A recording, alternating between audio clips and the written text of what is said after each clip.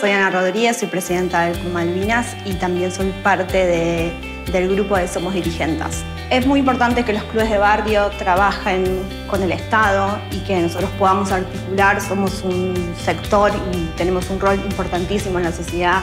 Somos lo que generamos comunión, generamos lazos de solidaridad y necesitamos un Estado presente también para acceder a la comunidad y a la sociedad puedan acceder a las políticas públicas. A veces las políticas públicas se alejan de, de la gente entonces está bueno que los clubes de barrio seamos intermediarios y lo somos. Así que en ese sentido nosotros valoramos muchísimo un estado presente que hoy lo estamos viviendo y lo estamos teniendo.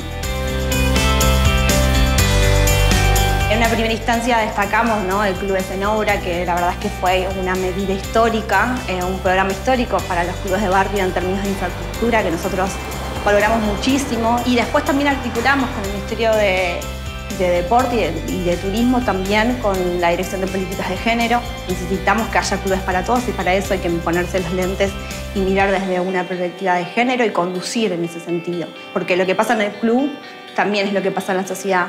Siempre decimos que somos em, creadores de, lazos, de equipo, de trabajar en equipo, de solidaridad. Bueno, también queremos trabajar en crear esos lazos de, igualdad, ¿no? de igualdad de oportunidades, de construir instituciones donde eh, sean libres, espacios seguros para todos y todas, y también un deporte libre de violencia.